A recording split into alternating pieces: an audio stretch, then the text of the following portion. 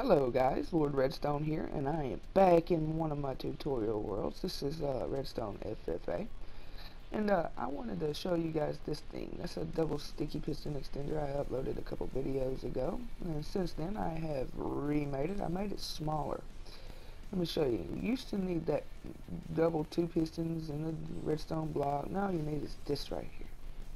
Yeah, that right there is the extent of it. Now let's build the double sticky pistons. Block, block, torch, torch, piston, piston, piston, piston, block, block, block, block. Just like that. Torch, break, torch. Just like so. Now let's up, update this little torch here. Nice double extension and retraction. Look how small that thing is you want to trigger that thing, all you gotta do is put a repeater right there where that block is, where I just laid down. This block, yeah. All you gotta do is put a repeater right beside it. It don't even have, go, have to go nothing. Put it right beside that torch. Alright guys, Lord Redstone signing out. I'll talk to you guys in the next video. Bye-bye.